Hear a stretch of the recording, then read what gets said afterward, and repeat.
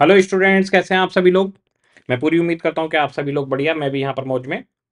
बच्चों, हम लोगों के पास में एफ़ एम इको का पेपर है और डेढ़ दिन का हमारे पास टाइम होता है तो हमें किस तरीके से सीक्वेंस फॉलो करना चाहिए वो मैंने यहाँ पर बताया सबसे पहली चीज़ लास्ट पेपर बचा है। और बच्चों की अब हिम्मत ये हो रही होगी कि सर बस अब ये दी एंड हो और निपटे और इधर वर्ल्ड कप भी चल रहा है, नहीं देख पा रहे। दिवाली भी ऐसे ही निकल गई, वर्ल्ड कप भी ऐसे ही जा रहा है, सारी चीज़ें ऐसी जा रही है तो चिंता मत करिए। आज का मैच इंडिया जीत जाएगा और वर्ल्ड कप फाइनल 19 तारीख को साथ में देखेंगे। अब ये जो लास्ट हमारे पास पेपर बचा हुआ है, इसकी तैयारी हमें कैसे करनी है, इस चीज़ पे फोकस करना है। आप ये बात तो समझ गए होंगे इतने पेपर देकर कि अगर प्लानिंग से काम नहीं करेंगे तो चीज़ें हमारी छूट जाएँगी। तो मैंने यहाँ पर एफ़ एम को के लिए आपके लिए सीक्वेंस बना दिया है और ये लास्ट डेढ़ दिन है जिसमें आपको हिम्मत बनाए रखनी है, क्योंकि बच्चों की स्थिति ये रही होगी कि बहुत हो गया, सर अब थक गए हैं। बस ऐसा लग रहा है कि पेपर बस खत्म होके निपटे ये। तो बिल्कुल लास्ट का आपके पास मेहनत करने का समय बचा है। बस यहीं पर आपको हिम्मत दिखानी है अपनी। हमारे पास में सबसे पहले आप क्या करेंगे? आज रात को रेशो एनालिसिस और वर्किंग कैपिटल मैनेजमेंट ये दो चैप्टर करके छूट जाइएगा। वर्किंग कैपिटल मैनेजमेंट के अंदर कैश मैनेजमेंट डेटर मैनेजमेंट और ओवरऑल वर्किंग कैपिटल मैनेजमेंट आता है। तो यहाँ पर मैं ओवरऑल वाले की बात कर रहा हूँ, जिसमें हम current assets minus current liabilities का स्टेटमेंट बनाते हैं ऑपरेटिंग साइकिल मेथड से और कंपोनेंट वाइज एस्टिमेशन से। तो हमारे पास जैसे आपका रेशो एनालिसिस और वर्किंग कैपिटल मैनेजमेंट ये दो अगर आप रात को करके सो जाते हो तो आपके पास कल के लिए बहुत टाइम अच्छा खासा बच जाएगा। मैंने इस तरीके से शेड्यूल सेट किया है कि आप इस सीक्वेंस में अगर चैप्टर करेंगे तो कभी कोई हल्का चैप्टर आएगा, कभी कोई भारी, कभी कोई हल्का, कभी कोई भारी, और पूरा आराम से मैनेज हो जाएगा। अगर बड़े बड़े चैप्टर उठा लेंगे एकदम से तो क्या होता है, दिमाग काम करना बंद कर देता है। तो एक बड़ा चैप्टर है तो उसके साथ एक छोटा रख लो। एक थोड़ा टेक्निकल है तो उसके साथ में दूसरा आसान कर लो। तो हमारे पास में सबसे पहले रेशो एनालिसिस और वर्किंग कैपिटल ये आपको आज रात करके सोना है, ठीक है? इसके बाद में कल आप मॉर्निंग उठेंगे और उठने के बाद दो बजे तक, ये सबसे ज़्यादा टाइम इंपॉर्टेंट होगा जिसमें एफएम की सबसे बड़ी कवरेज आप करेंगे। इसमें leverage EBIT P S analysis capital budgeting और कॉस्ट ऑफ़ कैपिटल ये चार चैप्टर आपको कल दो बजे तक निपटाने होंगे। इसके बाद में फिर छः बजे तक आपको debtors management risk analysis in capital budgeting dividend decision capital structure और कैश मैनेजमेंट ये सारे छोटे छोटे चैप्टर हैं। और आपके पास में रिस्क एनालिसिस और डिविडेंड डिसीज़न से आता ही आता है। कैश मैनेजमेंट सबसे लास्ट में रखा है क्योंकि उसकी इंपॉर्टेंस कम है। कैपिटल स्ट्रक्चर से क्वेश्चन एमएम थ्योरी का कई बार आ जाता है, रिसीवेबल मैनेजमेंट से आ भी जाता है और नहीं भी। तो ये सबसे लास्ट के लिए रखें, जब तक आपका दिमाग पूरा थक चुका होगा तो इन्हें आप लास्ट में करना। तो सबसे पहले रेशो और वर्किंग कैपिटल आज करके सोना आप। बारह बजे की जगह एक भी बज जाए, कोई बात नहीं, करके सोना, लेकिन इसको, वरना कल आपके लिए मैनेज करना मुश्किल हो जाएगा, क्योंकि इको भी करनी है साथ में। और हमारे पास leverage EBIT EPS capital budgeting और कॉस्ट ऑफ़ कैपिटल करना, कल दो बजे तक कोशिश करना कि पूरा हो जाए।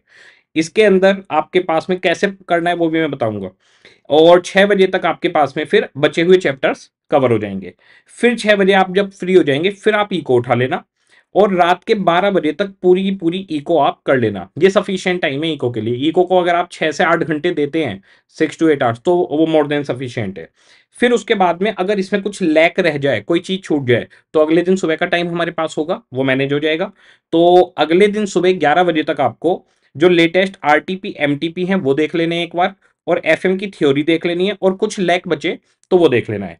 इसके अलावा, आपके पास यहाँ पर मैंने इसमें पीडीएफ के अंदर यूट्यूब का जो हमारी प्लेलिस्ट का लिंक है, जिसके अंदर बूस्टर आरटीपी थ्योरी नवंबर का सब कुछ आ जाएगा, और इनके नोट्स का लिंक यहाँ पर दे दिया है।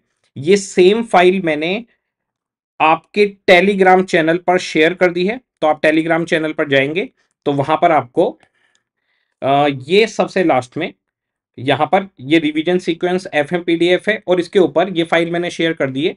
इसके अंदर आपके पास यूट्यूब की प्लेलिस्ट में सारे के सारे जितने भी एफ़ एम के बूस्टर के सेशन थे वो हैं आरटीपी है थ्योरी है और सब पर टाइम स्टैम्प लगी हुई है। तो आप वहाँ से कर सकते हैं। नोट्स आपको यहाँ पर मिल जाएँगे। इन पर क्लिक करेंगे आप सीधे लिंक पर पहुँच जाते हैं।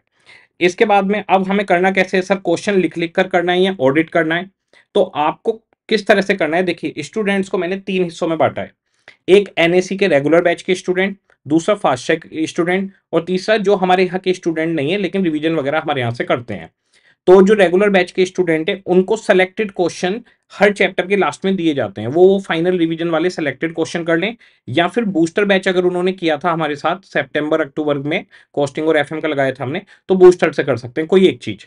फास्ट ट्रैक वाले बच्चे भी सिलेक्टेड क्वेश्चन और बूस्टर दोनों में कोई एक कर सकते हैं। और जो अदर स्टूडेंट हैं, वो बूस्टर कर लें। प्लस उन्होंने खुद अपने, जहाँ भी जिस भी ऑथर से क्लास ली होगी या सेल्फ स्टडी करी होगी तो कुछ क्वेश्चन सेलेक्ट किए होंगे, उन्हें करना है। सारे क्वेश्चन नहीं कर सकते आप एग्ज़ाम से पहले पॉसिबल नहीं है। दूसरी चीज़, सर, हमें क्या लिख लिख कर करना है या फिर ऑडिट करना है? तो मैं आपको बता दूँ, आपको हर चैप्टर से, जैसे हर चैप्टर में आपके पास, मान लो पहले तो आप ऑडिट करो कैलकुलेटर पे सिलेक्टेड क्वेश्चंस का। और हर चैप्टर से दो से तीन क्वेश्चन राइटिंग में कर लो। Two three questions in writing तो दो तीन क्वेश्चन आपके राइटिंग में चलते रहेंगे और बाकी क्वेश्चंस का आपका ऑडिट चलता रहेगा। बस इसी पैटर्न को फॉलो करिए। एफ़ एम इको का पेपर बहुत आसान पेपर होता है। ईको बिल्कुल फिक्स है। जो इको की आपकी थ्योरी है, उसी के अंदर से आता है नेशनल इनकम और M one M two M three पूछ लेते हैं मनी मार्केट से। तो 10 से 15 नंबर का न्यूमेरिकल पोर्शन इको में आ जाता है।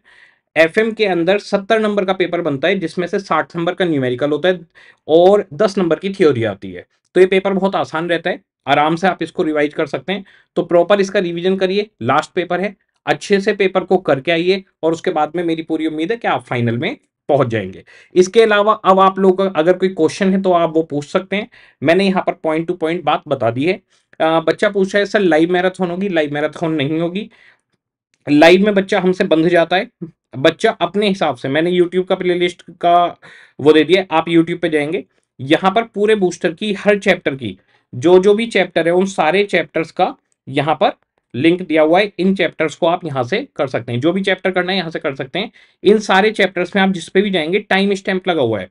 कर मान लो आपको बेटर बीबीक्यू में किसी अच्छा। में दिक्कत आ रही है। इसके बाद में जो क्लासेज हैं वो कब से कब तक चलेंगी? आपको बीबी तो ये फाइव दिक्कत आ रही है। तो फाइव के आगे टाइम स्टैम्प पे आपने क्लिक किया सीधे बीबीक्यू फाइव स्टार्ट हो गया। स्टडी मैच का क्वेश्चन है इसमें कंफ्यूज होने के सारे के सारे वीडियोज़ पर time stamp Ana limited is considering a new project जिस भी में कैपिटल इन्वेस्टमेंट सीधे वहाँ पर 15 में दिक्कत आ रही है सीधे बीबीक्यू 15 15 से स्टार्ट हो जाएगा। तो यहाँ पर फॉलोइंग मोड में है आप 1.5x 2x और अपने हिसाब से देख सकते हैं। तो लग जाइए, अच्छे से स्टार्ट करिए। कुछ बच्चों के ज़्यादा टाइम मिल रहा है एमपी वगैरह वालों को तो वो अपने अकॉर्डिंगली आराम आराम से कर सकते हैं। वो ऑडिट कम करें लिख कर ज़्यादा करें। जिनको साढ़े तीन दिन का टाइम मिल रहा है थ्री डेज़ वाला तो रिया पूछेंगे तो थ्री डेज़ वाले क्या करेंगे? थ्री डेज़ वाले ऑडिट कम करेंगे, लिख के ज़्यादा करेंगे, क्योंकि उन पर लिखने का टाइम है। और जो 1.5 डे वाले उनके पास लिखने का टाइम कम है। अच्छा कई सारे बच्चे ये भी पूछते हैं कि, सर, जो हमारा पेपर आएगा एक तो डेढ़ दिन बाद होना है और एक तीन दिन बाद होना है तो क्या दोनों पेपर सेम आएँगे? नहीं, पेपर अलग अलग आते हैं।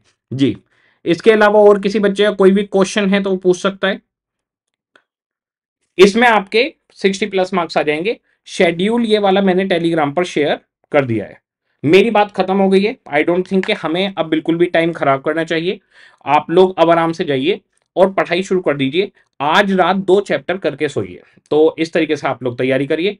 मेरी बेस्ट विशेज आपके साथ हैं और मुझे पक्का यकीन है, पीछे के पेपर आपके अच्छे गए हैं, आगे के पेपर भी अच्छे जाएँगे। पूरे कॉन्फिडेंस के साथ जाइए। 60 प्लस मार्क्स इजीली आपके आ जाएँगे। अच्छे से पेपर करके आइएगा। फाइनल में पहुँच जाइएगा। पेपर का जब एंड होगा, उसके बाद में पेपर का रिव्यू लेकर हम लोग मिलेंगे आपसे। आप सभी को मेरी तरफ़ से ऑल दी बेस्ट ओके जी, सभी को